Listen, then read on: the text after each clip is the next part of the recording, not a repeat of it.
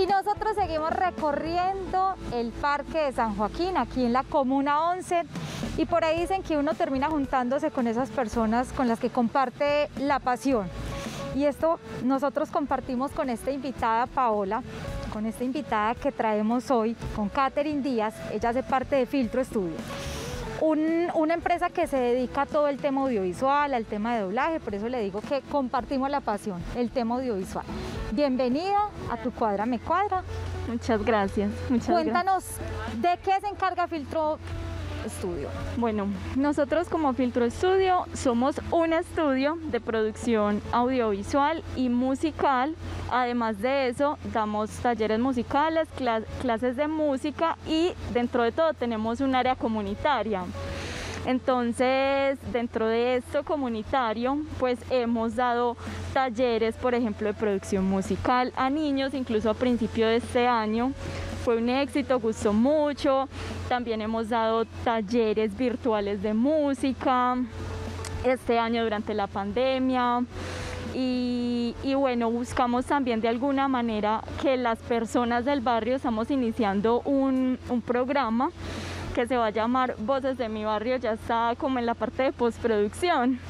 Y la idea es que la gente en, este, en, este, en esta intervención tenga la oportunidad de contar qué le gusta del barrio, qué quiere que mejore en el barrio, cosas como estas.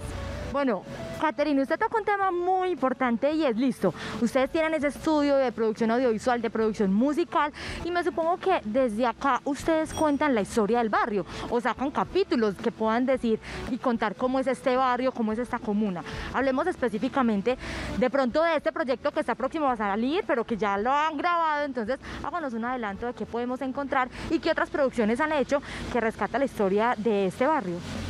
Bueno, claro que sí. Pues como, como tú lo dices, como te dije ahorita, no ha salido, está próximo a salir y la idea con eso es que, que la gente del barrio, que de alguna manera tiene...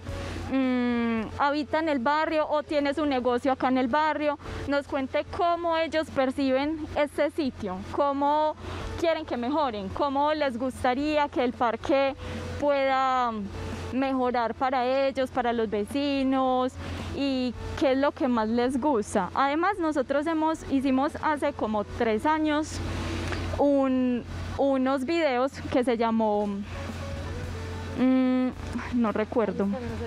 Tranquila, no te preocupes. Yo quería preguntarte algo. ¿Cuál es el reto más importante el que ustedes se han enfrentado ahora con la pandemia? Porque claro, es un estudio que necesita presencialidad, cómo han hecho ustedes, cuáles han sido esos contenidos que ustedes han logrado adaptar en todo este tema que estamos enfrentando. Claro que sí. Bueno, ya me acordé, no sé si puedo como ¡Claro! Se, llama, se llamó Convivencia el sencillo arte de vivir con otros. Entonces fueron unos videos que lo que hacían eran ayudar a nuestros vecinos para que seamos mejores vecinos. Entonces, no poner música duro, respetar, no tirando basuras, ese tipo de cosas. Y, con respecto a tu pregunta, bueno, nosotros lo que hemos estado haciendo es pegarnos de las TICs, o sea, poder a través de las redes sociales, de YouTube, eh, brindar contenido a la comunidad y bueno, que se eduquen, porque finalmente nosotros también hacemos eso, educar. Entonces, como te conté, dictamos unos talleres de música desde la virtualidad y gustaron demasiado. Bueno, a mí me pasaron un secreto por estos lados y resulta que Caterine canta.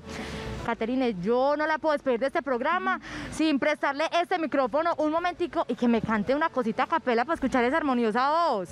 Se puede quitar el tapabocas, Juliana se va para ese extremo, yo me quedo en este extremo y le presto mi micrófono, ¿listo? Así. Siempre que te pregunto qué, cómo, cuándo y dónde, tú siempre me respondes, quizás, quizás, quizás.